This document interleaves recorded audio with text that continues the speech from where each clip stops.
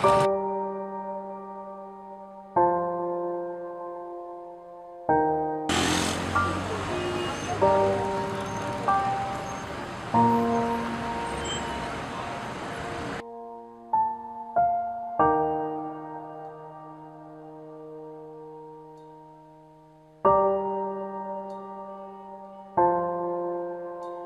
docteur assis.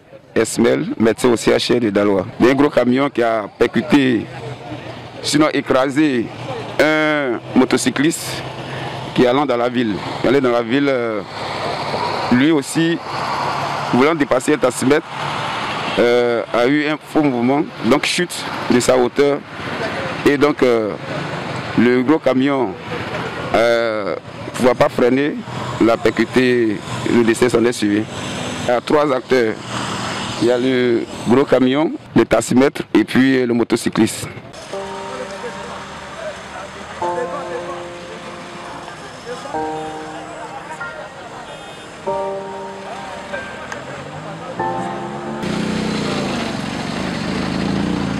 Oui, il a eu un traumatisme crânien avec euh, c'est-à-dire des saignements énormes au niveau de l'oreille.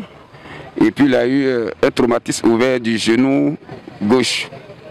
Je pense que c'est le traumatisme qu'il a emporté. C'est vrai qu'il a apporté un casque, mais le choc était vraiment violent. C'est la sensibilisation toujours, hein.